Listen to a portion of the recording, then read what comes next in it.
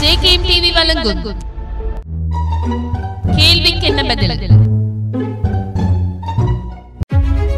இன்றைய கேள்வி.